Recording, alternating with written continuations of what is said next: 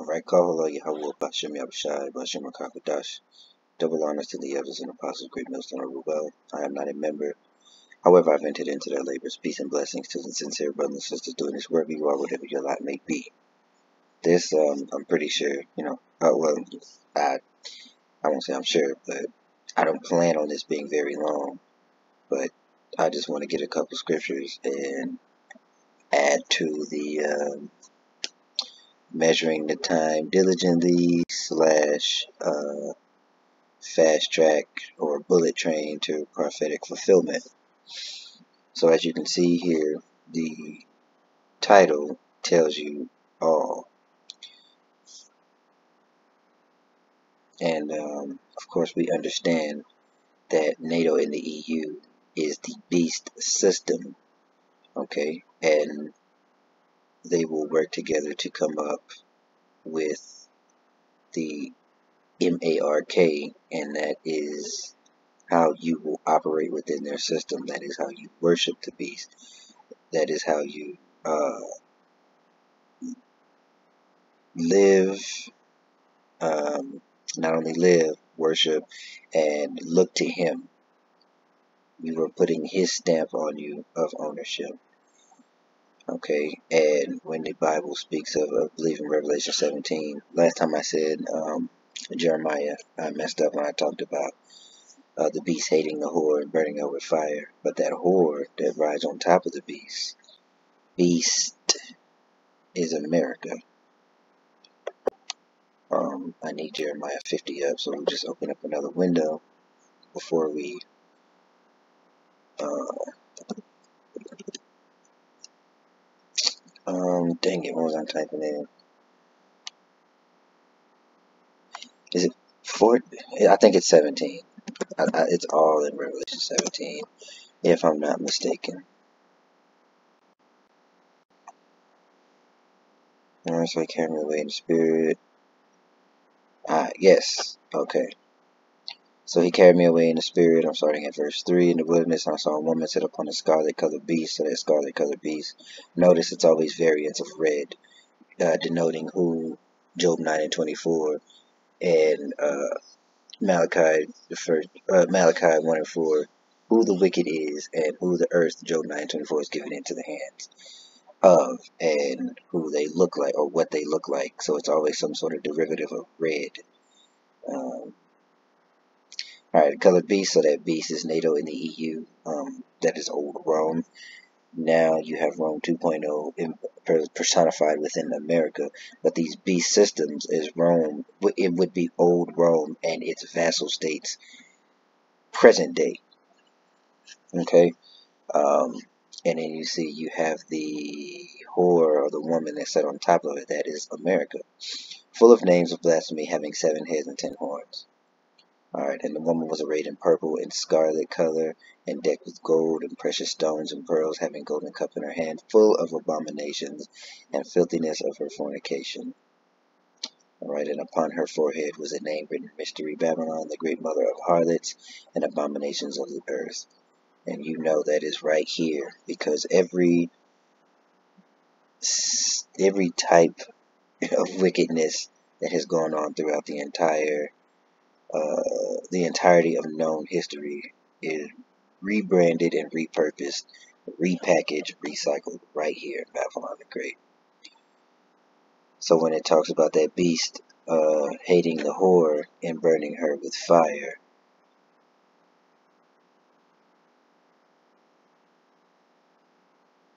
uh, and the ten horns which saw the ten kings, no, so maybe it's not there, but it, it does talk about, let's see.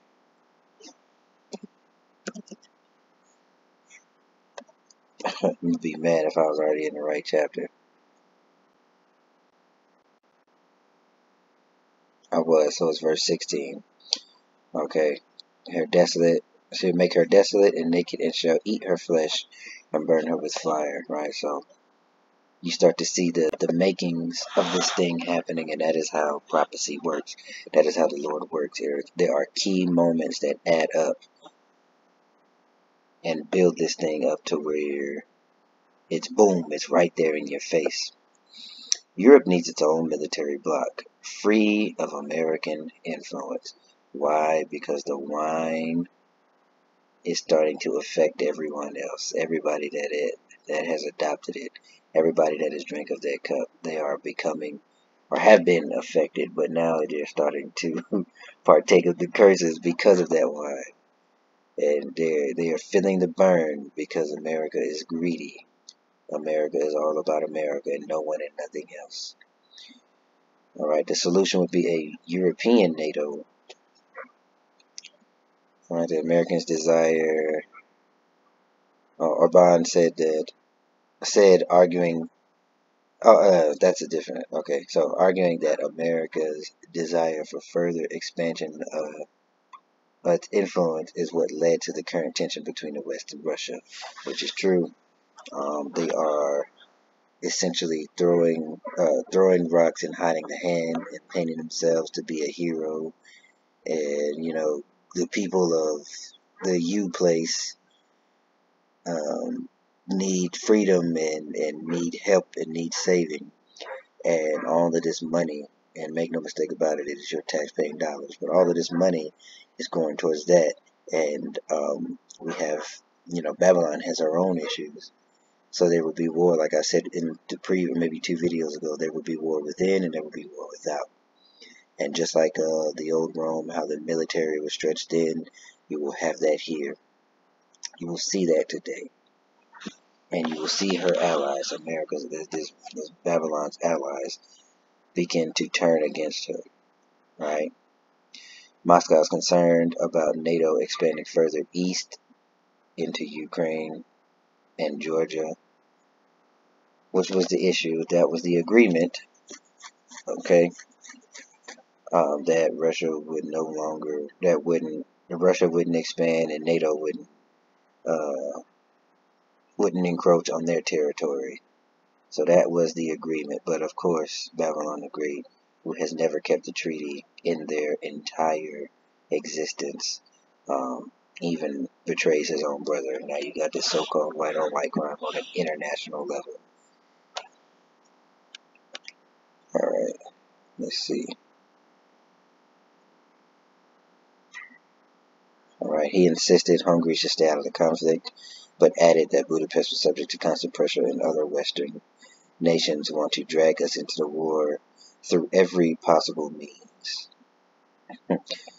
So uh, as you see, he's I, I, think that so far he's one of the only ones that I so far that I've seen that has really gone hard, and I'm sure that these other nations are going to follow suit in the times to come, because who blows up a pipeline and make your allies suffer? It, it it's crazy to me. All right. Alright, remove verse, verse 50 and 8, Jeremiah verse 50 and 8. Remove out of the midst of Babylon and go forth out of the land of the Chaldees and be as he goes before the flock. Um, Pharaoh raising call. Okay, here we are. Pharaoh raising cause to come up against Babylon, an assembly of great nations from the north country, and they shall set themselves array against her. From thence she shall be taken, and their arrows shall be as if the mighty expert man, none shall return in vain. And those arrows are referring to missiles. And you know this isn't about old Babylon because old Babylon was taken over by the Persians and the, the, the city was not harmed. You can find that on your own. So you have to be in the spirit in order to understand what's going on here. Because even though Jeremiah wrote this uh, during the Babylonian captivity or to the, the, the uh, southern kingdom or, or Judah, Judah, Benjamin, Judah, and Levi. He wrote this to them in that time. This was speaking uh, uh, uh, as far as to now as well. All right, let's see what else is in here. Okay. Call for peace.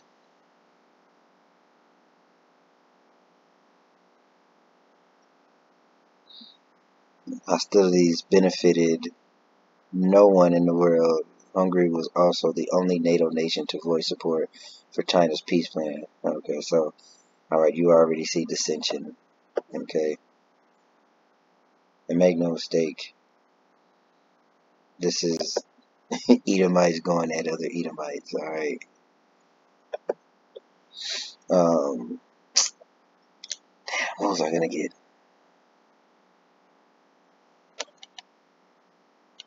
How about this? If a kingdom divided, that's what we need.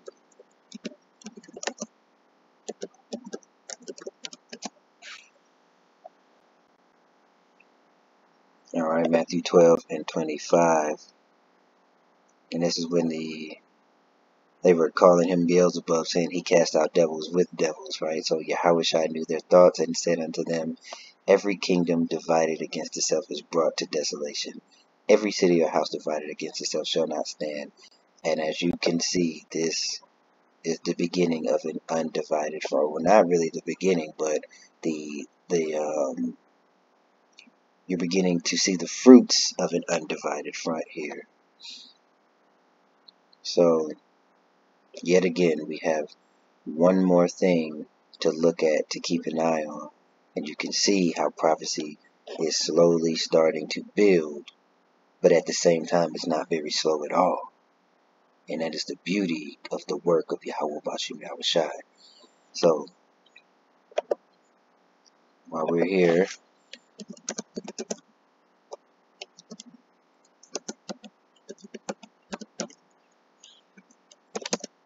I did not spell that right.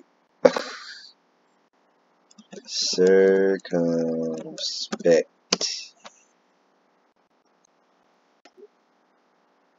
Lee. How about that? Circumspect Lee.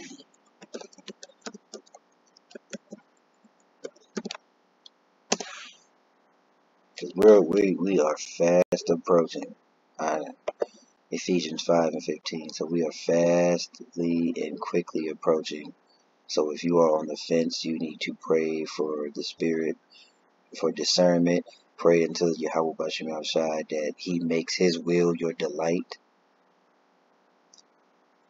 And that moving forward, you always consider the fear of the Lord with the things that you do.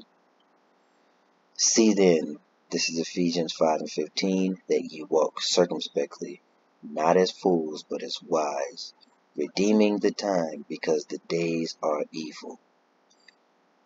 Point blank, period. And we, and I say we humbly, hopefully are not on the wrong side of judgment, alright? Because the things leading up to the return of our Lord and Savior, Yahushua, are nothing but turmoil, right? The days of the, the day of the Lord is darkness and not light.